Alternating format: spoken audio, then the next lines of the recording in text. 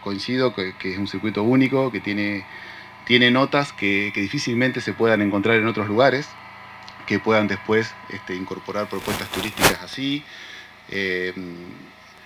las explicaciones que nos han dado las guías, eh, los guías, las y los guías durante el recorrido, eh, nos enseñaron que en una hora y media de recorrido uno puede tener una mirada general de todo lo que pasa en un yacimiento, ¿no? desde el pozo y de lo que pasa antes del pozo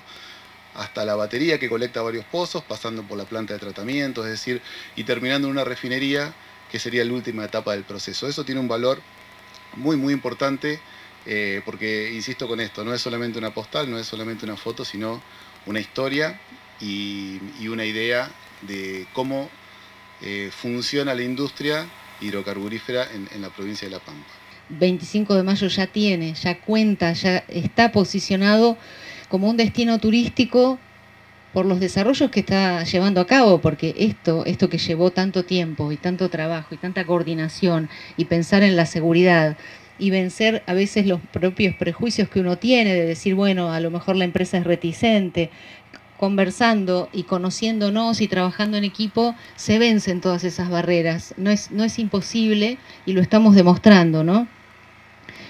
La importancia que tiene esta huella para el turismo pampeano, donde permanentemente estamos bregando por aumentar el porcentaje, digamos, el ratio de pernoctes que tenemos, que es de 1.5, y estamos eh, comunicando que a La Pampa mínimo hay que estar dos noches, mínimo, para poder enterarse del, enorme, de la enorme oferta, del enorme producto turístico que, tiene nuestra provincia. Y con esto sumamos una experiencia que tiene atributos diversos y únicos, tiene atributos educativos enormes, tiene atributos recreativos para los propios eh, habitantes de 25. Y el objetivo, como decía entonces, va más allá del rol del Estado